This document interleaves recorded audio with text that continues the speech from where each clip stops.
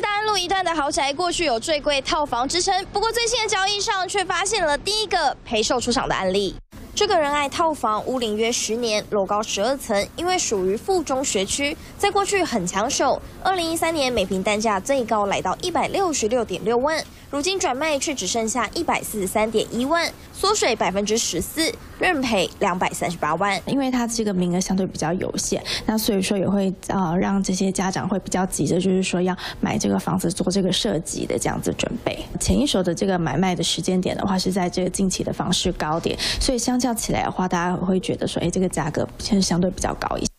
同样面临价格调整的，还有同一学区的中南大厦，有屋主一百零二年买进后，也在三年后跌价百分之八。另一头大安附中也有案例，从一千两百八十六万跌到一千一百七十万。还有敦南立社也有屋主从一百零一年的一千三百七十五万，整整缩水超过一成，认赔出场。这一类的这个套房的话，在近几年少子化以及这个私立学校比较蓬勃发展这样子一个现况之下，它的这个交易量也就下降了。尽管学籍诱因还是买气一大拉力，但是高价套房平数小，出租收益也不高，显然已经在市场上少了些吸引力。因为房价反映出金华区小套房市场缩减的讯号。三立新闻余成胡了文台北报道。